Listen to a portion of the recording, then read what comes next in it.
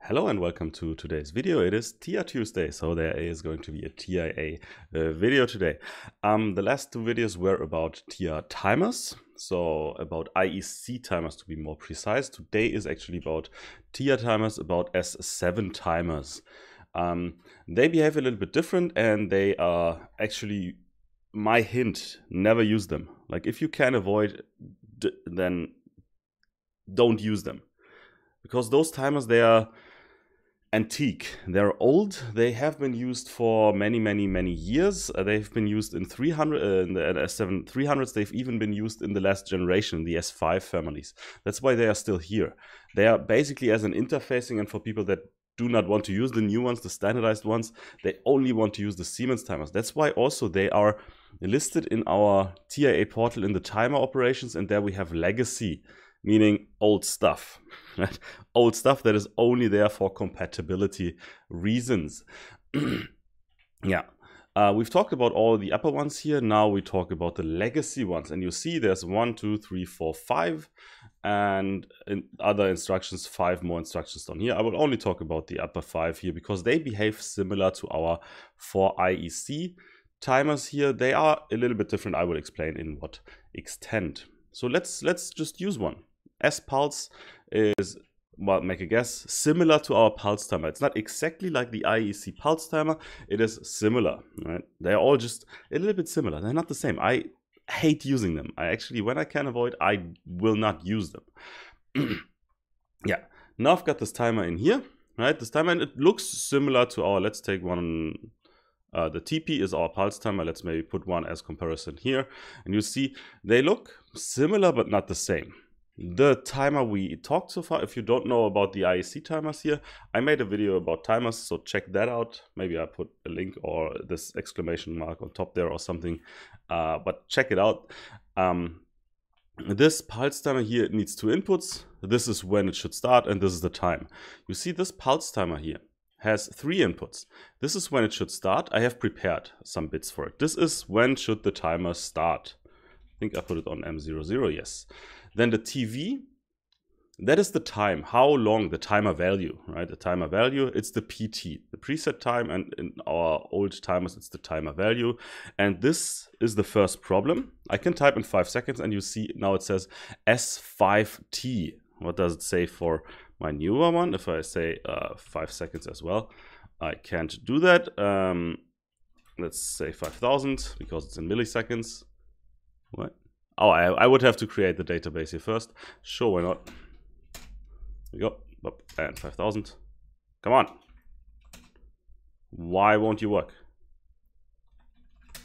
Here we go. so here it says just T, right? You see here S5T and here you see T. The difference is S5T indicates it is an S5 timing format. The S5 timing format is not in milliseconds, it's not in seconds, it's not in something. There's a code actually in there.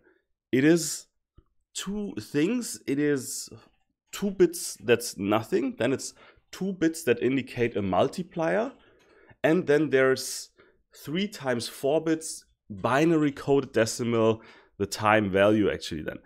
Doesn't matter what exactly that is, but it's bullshit. it's just useless. It's someone thought about it, thought this is a smart idea. You're actually losing a lot of data and it's not precise at all. Here it is in milliseconds. So if the if the number raises by one, it's one more milliseconds. Here, if the number raises by one, it's either I don't know. It could be anything. It could even be an error actually. Bullshit data type, right? not really need S5 time. I don't like using it. You see, I re really don't recommend using those, but they're there. so I'm going to explain it. And the last input this pulse timer has is actually a reset, which we don't have for the TP. For the TP, we would use this RT, this one here, right? But here I can just put anything as the reset directly there. Uh, and I've prepared that. Here we go. The next thing this one needs the one I had earlier, I just created a new data block and this is an instance. I can use an infinite amount of number of timers. The IEC timers, the blue ones, the good ones, right? Of those, I have a limited amount. This limited amount is measured in as seven timers we can use. So this is an S7 timer actually using an S5 data type. Bullshit. so here I just need to put basically which timer do I want to use.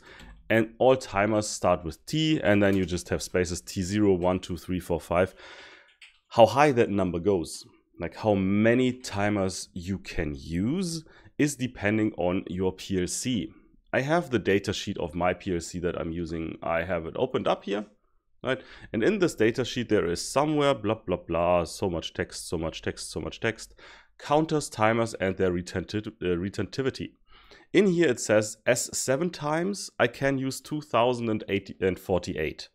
That's it. I can use 2048 timers and then it's blocked.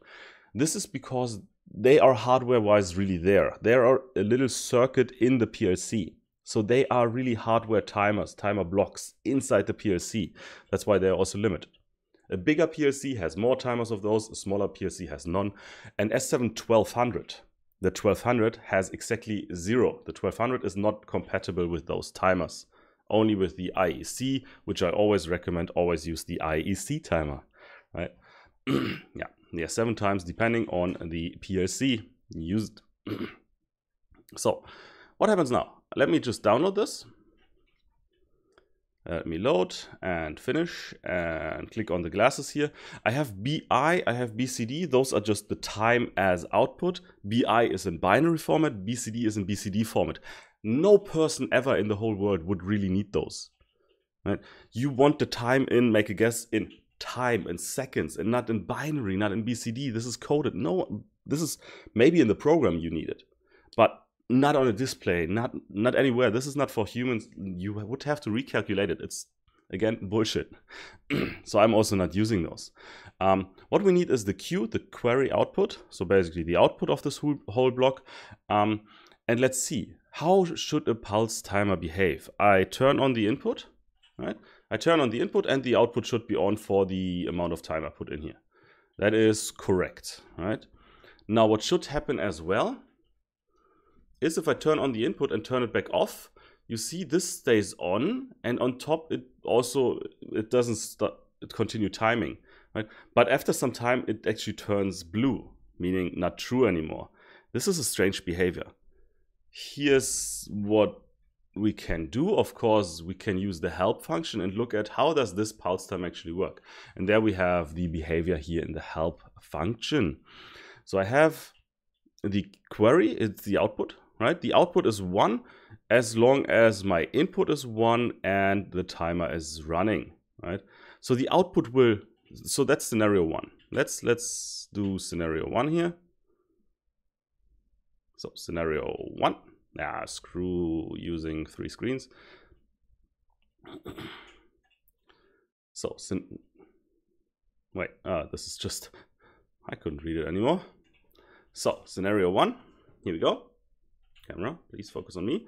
So this is what we want to have, right? So um, the timer is on, the input is on, the timer is running, the output is on for the specified amount of time.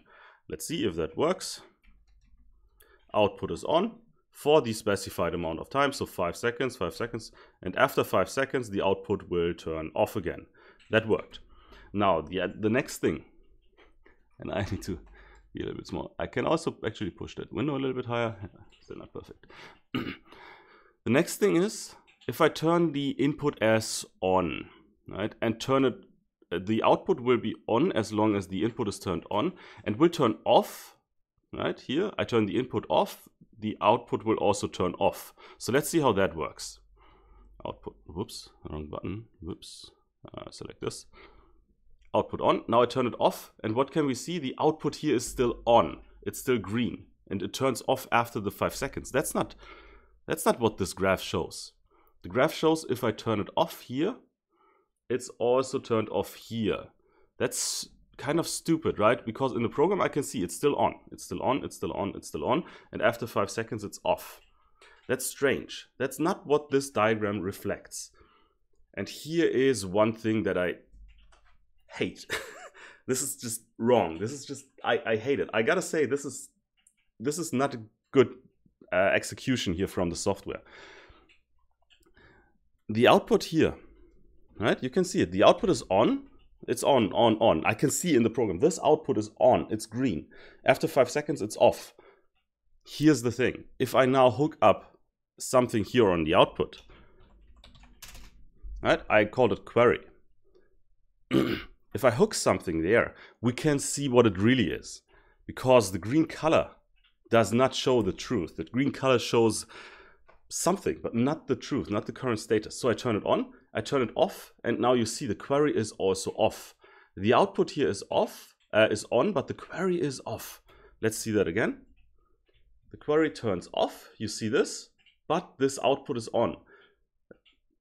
The output changes at some point in time, but the query, this is bullshit. Like, like this is just wrong from the display. 100% just wrong. Um, it comes from there. If we turn off all the inputs here, this block here is not evaluated anymore by the program. The block is not evaluated by the program. Um, that's why we can't see the change anymore. But internally, as this thing here is a separate hardware, this small chip in there, this small circuit in there, it continues and continues and continues even if we can't see it in the program. It's an asynchronous execution. We can't see it in the program anymore, but it is doing its thing. And after the time, this output here connected to it, even though we can't really see it in the program, changes the state. So that's very, very bad. Don't get confused by it right? Because it's not displaying the correct information. You see, I turn it on, I turn it off. This here is still green. This is blue because the status that's connected to it is actually off, which is not what I can see, but that's how it is. This is stupid. I just hate it. I gotta admit, I just hate it. It's wrong. This is this is wrong information. um, but let's see if the timer behaves like this. I can just hit Control 2, so it's on and it's still running. Here I turn it off. The output is off as well. That's true. So that works. Right? I turn it off and the output, the query here is actually off. So what we see here is not what we see here, but what we see at the query here at the output that I connected. This is correct. This is what we can see here in the graph. I hate those. I gotta admit, I, I, I know I said it like 10 times now. I hate those timers. Don't use them. If you can avoid, don't use them anymore. yeah. I mean, it make it, it, kind of makes sense because it's a separate hardware. This timer is a separate hardware, which we can't evaluate here in the program anymore because we turned it off. It's still, I hate it. I, I hate it so much. You need to know it to be able to troubleshoot it. You could be troubleshooting for ages if you don't know it. Right? This right now I could search for ages because this shows me a different thing than there is. I hate it. yeah, and we have also this reset input here. If I turn it on, the timer will reset, like in the graph. Yeah. I recommend not using those. There's reasons why we have them for mainly for communication between um, different devices that still use this. In future, those will be gone. And Siemens PLCs are the only ones that use those. There's no other devices, except for Siemens devices, but no other devices from any manufacturer. They all use standardized timers we have now here one, two, three, four, five different timer types. I will not show them in detail right now um, because they are quite easy to come by. If you just select the timer here, I hit F1, uh, the help window will open. It takes a second or two, maybe a minute because it's actually quite a huge tool. And therefore each of the timers in the list here, I can find the timing diagram. So you can search for the timer that is suited for you. We have an extended pulse timer, whatever that is. We have an on delay timer, an ODT, right? An on delay timer. We have an, a retentive on delay timer, whatever that is. And we have an off delay timer. Right. I won't go into detail with all those timers. They behave very, very similar to the timers I explained in the other video. So they behave very similar to the standardized timer but not exactly. Some of them behave differently and all of them have this reset input. Um, if you want to just test them out, you can easily in your program now click on the pulse here and I can say, hey, I want to use an on delay timer instead. I change this, I download, and now I can test the on delay behavior. But again, here is the hint. Here is the hint. This on delay timer don't look at the Q output and what's connected here. You can see this is again on and this is off. You saw it, right? You see it. It's this is on the green line, but this is zero. This is off. So it's what it displays is bullshit. I said my uh, this will de get demonetized this video because I said bullshit so many times. Bullshit, bullshit, bullshit. but that's how it is, right? So I turn it on and I turn it off, and this somehow is also not turning on. So look at the query. If you connect when you connect something here, look at that. Don't look at the line. Don't trust the line because it lies in this case. And you see it? Because this is a separate piece of hardware. It makes sense, but it's still displaying wrong information. So, this was a 15 minute rant, me saying don't use those, but you can use them, but I recommend using the others. Um, if you've got questions on those, leave a comment below. Um, do not forget to like, do not forget to subscribe, do not forget to never use those. um, unless you need them. If you need them, you know you need them. And if you see them, try to change it maybe to the new way. Uh, IEC timers, very good. Yeah. Don't forget to like, don't forget to subscribe. TIA Thursday is coming up, so all days that start with a T, I will make a TIA portal video and hope you like this. Hope it helps a little bit. Um, if you've got questions, comments below, and I'll see you in the next video on Thursday. Bye.